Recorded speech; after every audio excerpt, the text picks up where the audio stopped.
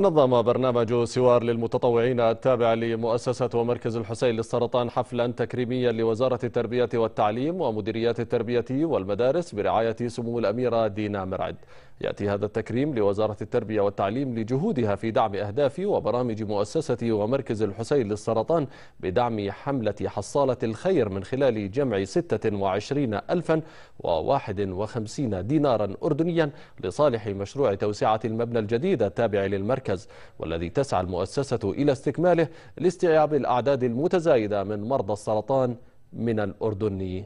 والمنطقة